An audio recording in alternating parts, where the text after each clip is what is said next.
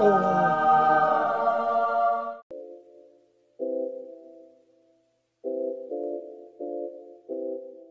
Hi guys, uh, today, by the title you probably know, I'm making deep fried Oreos. I've been wanting to make this for a while. I feel like it's fun and it looks pretty easy. I mean, what we're gonna do is just take some Aunt Jemima pancake mix, Ain't Jemima, ain't your daddy. Fuck this bitch. really any pancake mix, but don't get like gluten-free kind because, you know, vegetable oil, brand new as you can tell, and some measuring cups so that you can measure um, precisely and not mess up. If you're gonna do it, buy double stuff. You just did the Oreos inside and put them to fry, and I guess it's gonna work. I saw it online, I checked it out, I've never done this before, so we hope it works, because if not, this is gonna be a very weird video. That was the smoothest egg crack I've ever done in my life. I actually just found out that I also need milk. He needs some milk. And I didn't put that in the introduction, but hey, we're improvising, so I'm gonna put a little bit of here. I'm gonna go to the fridge and I'm gonna get the milk.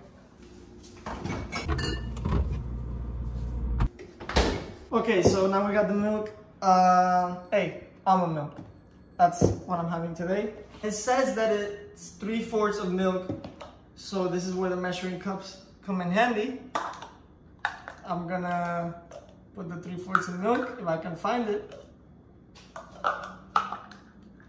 12 seconds later. So apparently there's no three fourths, so I'm gonna do some math. I'm gonna do one half of milk and then add one fourth to one half, which should make three fourths. I learned that in school.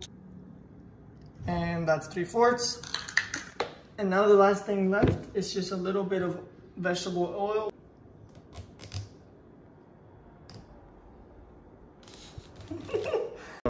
I, opened it because it was new and it says one teaspoon, but I think that's the same thing as one cap of this.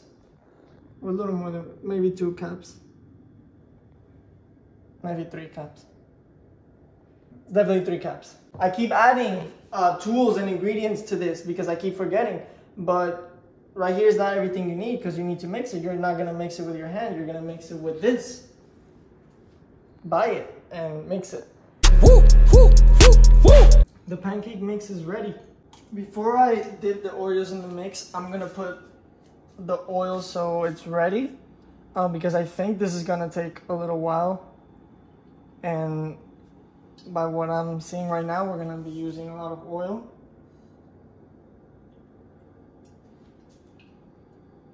Maybe next time I suggest buying uh, vegetable oil that has a bigger opening so that it flows faster.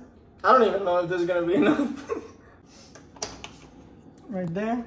To be sure if it's ready, you just dip a little bit of the mix and it should flow to the top. While I'm waiting for this to heat up, um, this is kind of dangerous. So 13 year old girls watching this or you know kids watching this that are young, uh, do this with your parents because I don't want to get sued.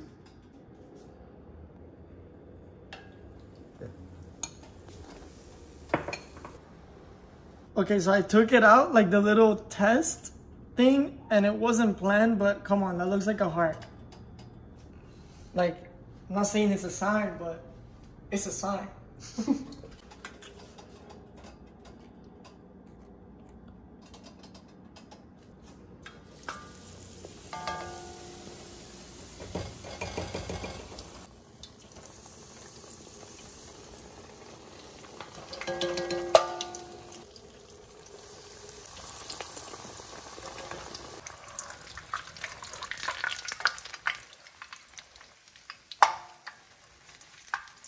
I always do these things like without trying them first before videotaping it.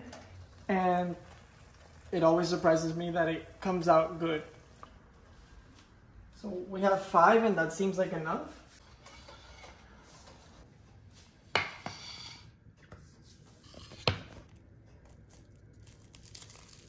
Oh wow, they're actually really soft. That melted so it's already like ice cream. Wow. I can't believe you can make this at home. I'm, I'm about to cry. You can add powdered sugar even though I don't have any, but I am gonna add some ice cream. I'm gonna add some cookies and cream to take this to the next level. some ice cream, one. One more ice cream and one more. Like I would pay $20 easily to eat this. Why the fuck you lying? And I'm eating this at home. You guys should try this too. I recommend it. Like it's it's really good. And yeah, thank you for watching the video. Um, another you know cooking video by me, who is not a chef. Yeah, if you guys make this at home, tag me. Uh, not that I invented it, but tag me.